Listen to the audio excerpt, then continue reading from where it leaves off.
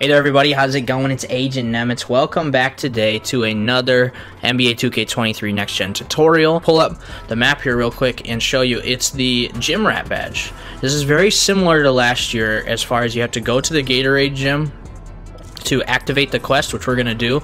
Let's go ahead and talk to the Gatorade rep. MP, nice to meet you. Pleasure. I'm Marie.